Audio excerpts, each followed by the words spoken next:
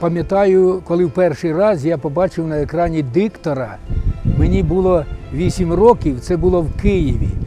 То я довгий час стопав ногами, мама, покажи, хто з тої сторони за тим ящиком говорить.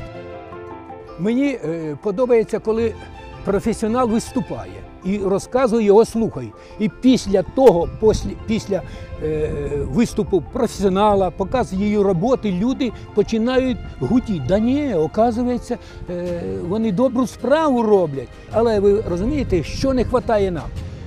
Часу, не знаю, хто вам його не дає, а задеклароване громадське телебачення його нема а його треба створити. Моє бачення, моє бачення, що треба робити?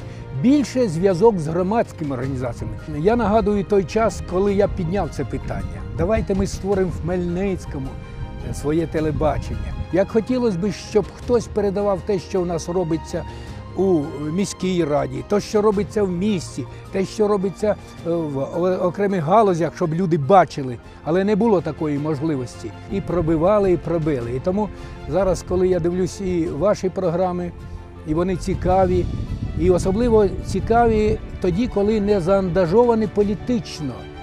От, наприклад, передача там про дітей, про е, лікувальні заклади, як лічать, люди слухають, чують і реагують.